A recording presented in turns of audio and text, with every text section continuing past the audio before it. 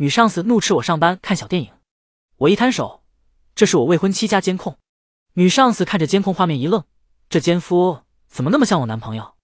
今天是我升任副总的日子，可我却高兴不起来，因为手机里的监控画面简直让我如遭雷劈。我的未婚妻韩露露此刻正穿着马油黑 S 袜和性感内衣，坐在一个年轻男人的怀里，他们激烈的拥吻，而后滚到了一起，不知天地为何物。我头上的美式前刺突然就有了颜色，怒气翻涌下，我拿起车钥匙就准备杀回家。谁知女上司宋之意突然出现在我办公室里，她瞥了我手机一眼，而后叉着腰，压低声音骂我：“林放，上班时间你敢看小电影？上任第一天就给我偷懒是吧？”“我没有啊，你看你手机上一男一女在干什么，还敢狡辩？”我心如死灰的一摊手，这是我未婚妻家监控。他怒视我的美目，瞬间转为同情。但是当看清监控画面后，他愣住了。这奸夫怎么那么像我男朋友？开车带着宋之意回家捉奸的路上，我们俩一路尴尬无言。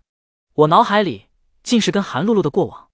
我们原本是异地恋，但是因为他一句不想在两地分居，我就抛下原有的事业，奔赴千里来到他所在的城市，选择从零开始。可他的父母嫌弃我家只是小康家庭，没有背景。常常对我冷嘲热讽。第一次上门时，我带了很多昂贵礼品，他父母连眼皮都没有抬一下，没留我吃饭，倒收下了礼物。我看在韩露露的份上，决定隐忍些。后来，我就开始不分白天黑夜的努力。而韩露露消费习惯不好，总喜欢大手大脚、超前预支，家里的橱柜里挂满了远超她消费能力的奢侈品。但是我不怪她，只觉得女孩该被富养，是我自己能力弱。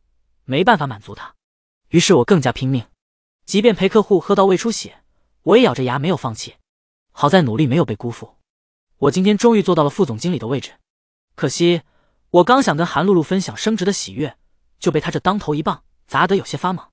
我查看他家里的监控，并不是为了自己的偷窥欲，是因为他亲口跟我说，他这几天要出差，而且他父母也外出去旅游了，所以叫我暂时不用去他家。可他忘记了。他当初为了让我照看家里的猫咪状态，曾让我连接他家里的监控。我原本是想看看猫咪是否有粮，不想却看到了这种画面，思绪渐渐收回。车也已经行驶到韩露露家楼下，我带着宋之意上了楼，输入密码后，门开了，一双看起来价值不菲的男士手工皮鞋和红底高跟鞋堆在一起，颇有暧昧意味，就如同韩露露和宋之意的男朋友现在正堆叠在沙发上那样。韩露露见到我。慌忙用毯子盖住了身体，一张脸瞬间变得煞白。林放，你怎么来？话还没说完，就被宋之意打断了。他连门都懒得进，只低着头看表，一副嫌脏的表情。张晋，限你一分钟内给我滚出来！相较于韩露露，那个张晋的确表现得更惊慌。他见到宋之意，就如同老鼠见了猫。他手忙脚乱地套上衣服，连底裤都来不及穿。在经过门口时，他心虚地看了我一眼。刚想灰溜溜逃走，就被我一拳打翻在地。我面无表情的吐掉嘴里的烟蒂，朝门外喊了一嗓子：“宋总，不好意思，麻烦你稍等十分钟。”我开始跟这孙子缠打在一起。见我占了上风后，韩露露竟表现得一脸心疼，她开始哭喊着对我又挠又踹：“你不许打他！你有什么资格这么对张姐？”我用腿摁住张静，抬起头来，好笑的看着韩露露：“你做出这么不知廉耻的事！”还有脸问我有没有资格？他被我的话刺痛了，苦笑出声：“我不知廉耻。我的两个堂姐妹，老公都是大老板，只有我的男朋友没完没了的加班陪客户，混了好几年，却止步于部门经理的位置，年薪不过三十万而已。要想买个像样的房子，恐怕都需要我跟你一起还房贷。我爸妈说的对，我不应该跟你过一眼望到头的生活。你给不了我陪伴，也给不了我金钱，但是这些张静。”都能满足我，因为他就是你们公司即将空降的副总。我顿了几秒后，嗤笑一声：“他是副总，那我是谁？”张静瞬间心虚的低下了头。宋之意怔了怔，然后不可遏制的笑出声来：“韩女士，你恐怕不知道，林放才是宋总。”我看着他摇了摇头，示意没必要说下去了。看见韩露露满腹委屈的样子，我突然觉得好没意思。即便告诉他我升职了，又有什么意义呢？于是我松开了手，我擦了把脸上的血，深深的看着他。好，很好，既然你这么委屈，我们分手吧。韩露露愣住了，她似是没想到我会这么痛快的做出决定。宋之意对着被打得眼神涣散的张静，清脆的甩了一耳光：“看什么看？十三点，我们也分手。”张静慌了，她顾不上韩露露幽怨的眼神，一把拽住宋之意的裙角：“之意，你听我解释。”韩露露气得要命，但他似是不敢朝张静发脾气，只能温声道：“阿静，你挽留他没有用。你以后虽然在他手底下做事，但是我们也不需要向他摇尾乞怜的。他们俩这么狠心的要分手。”肯定是一早就勾搭上了。我刚想开口争辩，宋之义就一把挽住了我的手臂。他微笑道：“你既然这么说，那咱们四个重新洗牌，我们俩就勾搭给你们看。”话音一落，他拽着我下楼开车绝尘而去。张静和韩露露瞬间傻眼。宋之义带我去了医院，他有条不紊的帮我挂号、问诊、拿药，看起来丝毫不像刚失恋的女人。我不解的看着他：“你难道不伤心吗？”他辣手摧花般用酒精棉球摁在我的伤口上，一副好笑的表情。伤心，伤心都是人吃饱喝足后放的闲屁。男人没了可以再找，钱没了我是真受不了。你知道我耽误一个小时要损失多少钱吗？我每天忙得要死，才懒得为软饭男伤心。今天我们俩已经浪费了三个小时零二十五分钟。你晚上加个班，咱们再把方案细化一遍。我已经跟总部下了军令状，两个月之内。必须签下蓝星的大单。说罢，他踩着恨天高潇洒离去，留我一人疼得龇牙咧嘴。果然，忘记失恋伤痛的最好办法就是被资本家压榨。我真觉得，如果自己有一天过劳死掉，那么我的尸体上一定插着宋之意的高跟鞋。话虽这么说，我却已经快速起身跟了上去。既然情场已经失意，那么职场我一定要混得风生水起。两个月内，我必须跟宋之意一起拿下蓝星的大单。晚上，我和宋之意挑灯夜战，把方案又细化了一遍。完成这项艰巨任务后，我们俩终于暂时松了一口气。宋之意叫我开车送他回家。许是因为近期压力过大，一走进家门，他就一头扎进了沙发里，就好像疲惫的女战士瞬间卸下装备。林放，陪我喝几杯吧，就当庆祝我们今天都摆脱人渣，并且完成了方案。话虽如此，他声音却闷闷的，完全不复白日里。那副铁娘子的样子，我知道，他心里还是有些不舒服的。于是，我应了下来。好，可我没想到，这一夜之后，我们俩命运的齿轮会就此开始转动。昏暗的光影下，房间里的一切都变得不太一样。宋之意长得很美，我是知道的。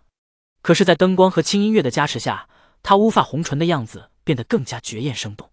那头海藻般的长发几乎要压塌她纤细的腰肢，延伸到夜色里。他喝完酒后有一种小女孩的娇憨。白日里他虽然说要跟我勾搭在一起，但是我知道他是为了气张静，所以我此刻也并没有多想。直到他突然凑近来看我受伤的脸，痴痴的笑出声。你还别说，战损版林放还挺帅的。女人身上佛手柑混着白麝香的味道，顿时环绕在我鼻息间，那是冰川美人般的极尽冷香，丝丝缕缕的像触手般勾人的很。我此刻也有些发晕。但最后我还是别开脸，把他扶到沙发上。你喝醉了，早点睡吧，我先走了。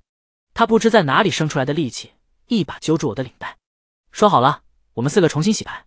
他们俩既做了一对，那咱俩也来凑一双。我想往后躲，你现在头脑不清醒。他静静的看着我，你怎么知道我不清醒？你前女友不是诬赖我们早就勾搭上了吗？那我们就坐实了去。我怔了怔，可是。嗯，还未等我说完，他的手臂攀上了我的脖颈，我立时心跳如雷。翌日，我一早醒来时，身边已经没了人。如果不是怀里还残存着一缕佛手柑香气，我都快以为昨夜只是我的一个梦境罢了。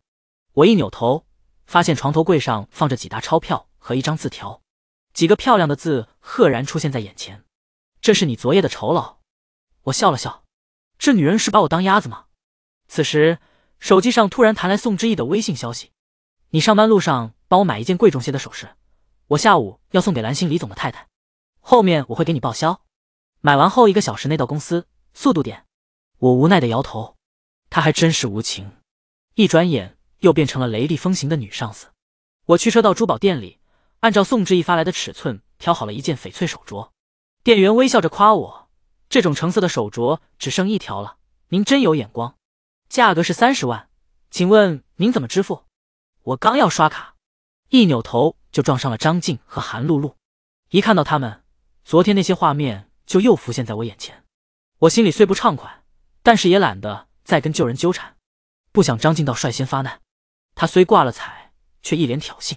这里随便一条镯子，能顶林经理一年的工资了吧？如果没有钱，就不要打肿脸充胖子了吧。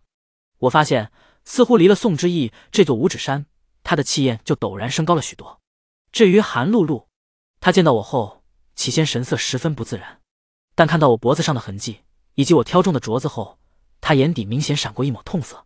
她负气的一把跨上张静的手臂：“阿静，我们也去看看镯子好不好？”张静脸上露出难色，但为了面子，她只能硬着头皮走向柜台。我看这些都很一般，唯一一条成色好的，还被某些人捷足先登了。说着，他指了指我，一脸的不屑。我看着他那副样子，心里突然生了恶趣味。宋之意跟我说，张静只是个吃女人软饭的小白脸。他之所以出轨，也许就是因为在宋之意面前弯腰久了，想在别的女人面前找到一点男人的尊严，所以他才在韩露露面前假装我们公司副总。当初他花的是宋之意的钱，出手十分阔绰。这才没在韩露露面前暴露。既然他刚才口出不逊，就别怪我下他的面子。于是我大方地把那条镯子让给他们，微笑道：“既然你觉得不错，我就让给你们好了。不过区区三十万，对张副总来说是小意思。”张静傻了眼：“我谢谢你啊！”他几乎是从牙缝里挤出这句话，不自然的样子引起了周围客人的侧目。韩露露没说话，眼睛却紧紧地盯着那条镯子。店员实在是人精。他怕这单黄了，立马殷切的拉着韩露露试戴。您看啊，您的手又细又白，人长得又漂亮，正应了那句“指若削葱根，口若含朱丹”。再戴上这条手镯，简直是锦上添花，更好看了。拥有这样一条翡翠手镯，应该是很多女孩子的梦想。真羡慕您拥有这样大方体贴的男朋友，来帮您实现愿望。这舌灿莲花的功夫，实在让我叹为观止。韩露露现在已经被夸得头重脚轻了。她摇了摇张静的胳膊，那眼巴巴的样子，就差把想买两个字写在脸上了。现在的张静无异于被架在火上烤，她被捧得这么高，只好肉痛的掏出几张信用卡，刷吧。只可惜店员连刷了好几张卡后，钱都不够。先生，不好意思，您信用卡的额度好像不够。周围的人瞬间变得十分别有意味，一副看戏的表情。韩露露尴尬的瞥了我一眼，而后不可置信的看着张静，怎么回事？你的卡怎么可能没有钱呢？张静急躁的翻着包，你只需要知道我买得起就行，别在一旁聒噪好不好？韩露露委屈的闭了嘴。终于，张静翻出了最后一张信用卡，咬牙切齿的拍到收银台上。我就不信还不够，给我刷！滴，随着刷卡成功的声音，张静松了一口气。我笑着摇了摇头，转身离开了。韩露露如愿以偿的拥有了翡翠镯子，可她好像并没有很高兴。只是望着我离去的方向，默默的发着呆。我两手空空的回到了公司，宋之意鼻子都快气歪了。东西呢？其实我一见到他，昨晚的场景就像部电影一样浮现在脑海里，就连心跳都没出息的快了几拍。但宋之意可是铁娘子，她断然不会为了私事影响工作。如今她看我，就跟看一颗大白菜没什么区别。于是我迅速调整状态，乖乖的给她下军令状。买翡翠有什么意思？山人自有妙计。今天下午我代替你去见李太太，一准叫她高兴，然后把我引荐给李总。他环着胸看我，好，但愿你不要叫我失望。晚上九点，我回了公司，手机里已经成功添加上李先生的微信。宋之意拍了拍我的肩膀，眼里满是赞许。你是怎么做到的？我精疲力尽的倒在老板椅上。李太太是喜欢翡翠不假，但是所有对手公司都在这上面下功夫，咱们再送。就没什么意思了。我打听到他是个迷信的人，于是我陪着他爬了整整两个小时的山，到寒山寺求了个上上签。他高兴的很，立马带我见了李先生。李先生看过我们的方案后赞不绝口。如果他们公司高层都觉得没问题，近期可以商量着签合同了。你怎么确信一定会求到上上签呢？我勾唇一笑，因为那个桶子里只有上上签。宋之义笑着捶了我一拳。你怎么这么鸡贼？四。我捂住被锤的地方，青丝出声。怎么了？宋之义慌忙掀开我的衣服，一块阴血的纱布赫然贴在胸前。他被吓了一跳，为什么受伤都不说一声？这是怎么搞的？下山的时候，身边有个小孩，差点滚下去，我拉了他一把，自己就摔倒了，胸口正好划蹭到了一块坚石上。不过没事的，已经去医院包扎过了。宋之意看着我叹了口气：“如果不是被我发现，你难道就不说了吗？你以为自己瞒得过去？可是等晚上睡觉时，我也会看。”话说到一半，气氛变得有些微妙。宋之意的脸微微泛了红。我发现宋之意在公司里一本正经，可一回到家就跟变了个人一般，实在是太割裂了。他说是为我上药，可手却一点都不老实。我闷哼一声，笑道：“医护人员要是都像你这样上药。”早就被投诉了。他笑眯眯的把头歪在我膝盖上，只可惜啊，你投诉无门，只能乖乖忍受我了。日子就这样一天天过去。我和宋之义白天在公司认真工作，晚上回到家就开启酿酿酱酱的美好生活。我俩都是洒脱的人，不会为了往事跟自己现有的幸福过不去。原以为生活不会再起什么波澜，直到有人来应聘我的秘书岗位。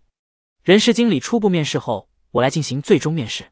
可是当面试人员推开门后，我们两个人都愣住了。来面试秘书的人竟然是韩露露。看到我的一瞬，他还没反应过来我就是副总，他甚至还以为是我鸠占鹊巢，胆大包天的坐了上司的位置。林峰，你怎么坐在张副总的位置上？他人呢？张副总，我低头轻笑一声。看来张静的谎话还没有被揭穿。这时正巧运营部经理进门，林副总，我这里有个文件。需要您签一下字。韩露露愣住了，她不可置信的指着我，朝运营部经理问道：“你刚才管他叫什么？”林副总。对啊。运营部经理莫名其妙的看了他一眼。韩露露像是不死心般继续追问：“怎么可能？你们空降来的副总不是叫张静吗？”运营部经理像是听到了天大的笑话，他摇了摇头：“张静，什么副总啊？他不过是我们运营部专员。”而且早就因为工作不认真被开除了，韩露露崩溃了，她苦笑了一声，眼角含泪。原来你才是副总，可是你既然升职，为什么还要瞒着我？我和张静像小丑一样洋相横出的时候，你和宋之意是不是在心里嘲笑我们？运营部经理见状况不对，识趣的退出门去。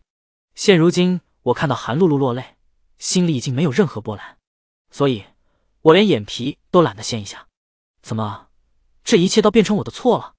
这时，宋之义推门走了进来，他麻利的在我办公桌上抽走要用的文件，扭头瞥了韩露露一眼。林放升职的那天是三月十五号，他原本是要给你个惊喜的，只可惜你没给他机会。三月十五，韩露露口中喃喃着，脸上逐渐出现懊悔之色。那不正是？宋之意点点头，对，正是你和张静被捉奸在床的那一天。说着，他踩着高跟鞋离去。韩露露咬着唇看我，眼眸里尽是痛意，那个眼神分明是在质问我，怎么敢真的跟宋之意在一起？可惜我没那么多时间跟他耗下去，我一会还有会议。现在我们开始面试。第一个问题，请问你是否有相关工作经验？韩露露的泪水在眼眶里打转。你跟宋之意是不是在一起了？我无视她的眼泪，继续问第二个问题。请问你对本公司的了解有多少？他捂着脸呜咽出声：“林放，我没有办法，我是迫于家里的压力才做出了错误的决定。”我气定神闲的喝了口茶。最后一个问题，你对自己以后的职业生涯是怎样规划的？他摇了摇头：“林放，你一定要这样对我吗？”我啪的一声合上简历，推到他面前，而后静静的看着他手上华光流转的翡翠镯子。我的问题问完了。不好意思，你的最终面试结果是未通过。韩露露甩了张静，她还在各个平台上发帖，痛斥张静假装高管，将她的伪装撕了个稀巴烂。两个人还为了争夺那个翡翠镯子打了官司。总之，两人闹得很难看。我原以为韩露露就此会在我的生活里消失，没成想，自打他得知我升了副总后，就开始对我阴魂不散。他每天带着亲手做的早餐在公司门口围堵我。我不堪其扰，直接拉着宋之意出了个差。可几日后回家打开房门，他竟然正坐在我家沙发上，我被吓了一大跳。不是，你来我家干什么？你经过我允许了吗？他一脸幽怨的看着我，然后塞给我一袋东西，美其名曰说是要把我送过的礼物还回来。可我一瞧，他拿来的都是一些琐碎的小礼物，譬如用过的口红、帽子，以及我亲手做的手工品等等。至于那一大堆名牌包和首饰，他是一个也没带回来。我看着那个断了翅的手工蝴蝶，以及破损的不成样子的永生暴力熊，心底一阵悲凉。原来我当初精心准备的手工礼物，他根本就没有用心保存。我那些在繁忙工作之余挑灯夜战准备惊喜的心意，原来不过是感动自己。但是此刻我并没有伤心，只是觉得自己当初太蠢，识人不清到这种地步。我还没说什么。他倒是看着我白衬衫上的唇印，眼圈渐渐变红。我在这里等了你一整天，说实话，还礼物不过是借口。我就是想来当面问一问你，为什么才跟我分手就无缝衔接？我们之间感情破裂，其实并不是我一个人的错，对吗？啊，这倒打一耙倒真是厉害。我默许地点点头，嗯，是我错了。听到这话，他还委屈的撇撇嘴，说吧，你错在哪里？我垂着眼笑笑，然后把他推出门外，一把将门反锁。我错就错在没早点把房门密码改掉。韩露露顿了大半天，待反应过来后，她气到变音，哭喊着踹了一脚房门：“林放，混蛋！你竟然这样对我，你会后悔的！”我想到韩露露大概不会就此罢休，可叫人意想不到的是，她竟然把矛头对准了宋之意。在接下来的几个月内，我和宋之意每次出行时，都总觉得。有一双眼睛在暗处偷偷窥视我们，我们为了跟蓝星合作的事忙得头脚倒悬，所以并没有太在意这件事。直到公司团建那天，那天晚上公司内的员工齐聚在一起，蓝星的李总也在受邀之列。我们打算在活动最后签订合同。正当大家聚精会神看向讲话的李总时，原本该放映大家京城协作画面的幕布，竟开始轮播宋之义被偷拍的照片，其中。大部分是我和他一起出行的画面，还有两张较为刺目的，一张是他跟张晋的情侣合拍，另一张则是他跟一个挺着啤酒肚的富态男人的照片，他们拥抱着，看起来十分亲密。李总见到这画面，瞬间沉默了，台下的员工们则躁动了起来。这是怎么回事啊？怎么全是宋总的照片，而且是跟不同男人在一起的？照片上的老头可是金融圈大鳄江老。怪不得宋总年纪轻轻做了老总，原来是背后有人擎天罩着他。嘘，小点声，你不想要自己的饭碗了？大家议论纷纷，低声交谈的火热。可事件的女主角却顶着众人探究的目光，淡定的啜着红酒，一脸无所谓的样子。我看到这些照片的第一反应就晓得是有人要故意搞事。可我刚想上台控制场面，就被宋之义拦下了。他面上虽笑着，眼底却噙着冷光。你现在上去做什么？你不让别人把戏唱完了，可不是要把人憋坏了吗？好吗？皇上不急太监急。我心里虽然替他不安，但看着他胸有成竹的样子，只好作罢。就在此时，一个戴着鸭舌帽的女人上了台。可即便她装扮成这样，我也依旧认得，此人正是韩露露。只见她抢过主持人的话筒，嗤笑着看向台下的宋之意。不知道宋总看到这些照片是什么感想？你私生活这样混乱。别人怎么敢跟你这样的人谈合作？他一露面，台下更加躁动。这人谁啊？竟然在这么重要的场合来捣乱？他呀，是林副总的前女友，听说被宋总无缝衔接了，怪不得。直到此时，保安才后知后觉的来赶人，宋之意却抬手拦下了。没关系，你们让他把话说完。韩露露不忿地甩开保安的手，看向李总：“李总，您看到了吧？宋之意就是这样的人。他先是包养小奶狗。”而后无缝衔接我的前男友，现在又插足商业大鳄的家庭做小三，你跟他合作，岂不是把自己的公司推进火坑吗？李总的脸色已经变得十分难看，他看着我和宋之意，宋总、林副总，这究竟是怎么回事？李总别急，听我解释。宋之意丝毫不慌，他气定神闲的走上台，笑盈盈的看着韩露露，继而看向台下的人。我原本是不愿意把自己的私生活被放到大家视野中的，可是。事情到了这个地步，我必须要出面将事情讲清楚，不能因为我的私事影响两家公司的合作。首先，关于韩小姐说我包养别人，我觉得这个说法并不准确。每个人都有谈恋爱的权利，不能因为我和前男友财力悬殊就被扣上这样一顶帽子。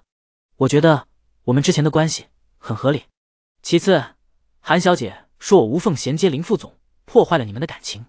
那么好，请问你是否需要我展开说说你们分手的真正原因呢？韩露露顿时心虚了，她吞了吞口水，不死心的指着宋之意跟大鳄的拥抱照片。那这个呢？你潘富豪做小三总无可辩驳吧？宋之意轻笑一声：“女儿跟爸爸拥抱，难道有什么问题吗？”台下一片哗然。啊，宋总是姜老的女儿，之前怎么没听说过？姜老在婚之前好像是跟前妻生过一个女儿的，只是人家很低调，一直没爆出来是谁。其实我也是昨天才无意间得知宋之意的真正身份。到了这个时候，我必须帮他证明。于是我悄悄给姜老致了电。此时台上的韩露露还在出言讥讽宋之意：“怎么可能？你们一个姓姜，一个姓宋，怎么会是父女？”宋之意笑道：“不好意思，我是跟的妈妈的姓。”李总一脸激动的看着宋之意：“你果真是姜老的女儿？”宋之意正要回答，正巧手机响了起来，来电人正是姜老。宋之意大大方方的打开了扬声器，一道苍老却浑厚有力的声音传来：“怎么样，乖女儿，跟蓝星的合作谈拢了吗？”宋之意欲言又止的看向李总，李总核实过来电号码，跟自己手机上所存姜老号码一致后。立马痛快的签了合同，韩露露不可置信的喃喃着：“怎么可能？怎么会这样？”宋之意脸上笑意愈发璀璨，一切顺利，公司与蓝星的合同顺利签订。我和宋之意决定一起去云南旅游。我们在洱海苍山，在百花盛开的时节，赴了一场浪漫的约。我们在没有天花板的地方奔跑大笑，这些天的压力一扫而空。可当我们被好风景收买时，另外两个人过得好像并不顺意。韩露露上次在公开场合诽谤宋之意，并且闹事扰乱活动现场，最终被警察带到局子蹲了好几天才放出来。谁成想，他刚回家就看见张静蹲守在自己家门口。当初为了给韩露露买翡翠镯子，张静刷爆了所有信用卡，再掏不出一分钱。后来他不止一次的跪在宋之意家门口求和，宋之意直接叫来安保将他赶走。他如今算是彻底穷困潦倒了，所以。干脆赖在韩露露家不走了，吃喝拉撒都在那里。他过惯了手心向上的日子，所以不愿意再找工作，每天只会抽烟喝酒打游戏，把家里搞得乌烟瘴气。韩露露父母不堪其扰，崩溃至极，想要报警，张静就拿自己跟韩露露的私密照片相威胁，因此他们一家三口除对着哭，没有任何办法。得知我升职后，韩露露父母追悔莫及，他们殷切的打电话给我。态度简直是一百八十度大转弯。林芳，叔叔阿姨不知道你这么有出息，能走到副总的位置。我们没有别的意思，就是想邀请你来家里吃一顿饭，算是表达对你的歉意。当初我们被朱佑蒙了心，露露也是的，做出那种对不起你的事。你不知道，她现在每天都躲在家里哭，我们都快被那个王八蛋张静折磨死了。我静静的听着，最后只说了一句话：恭喜叔叔阿姨，千挑万选寻得佳婿。挂断电话后。宋之意又拉着我去看海，他闭眼感受着碧海潮生，轻声道：“雨若不上天，覆水难再收。他们犯了错，别想再回头。”我揽住他的肩膀。所幸历尽千帆后，真正适配的人走到了一起。他抬眸与我相视一笑。此时此刻，海天一色如诗如画，我们相互依偎的样子，就是天地间的佳作。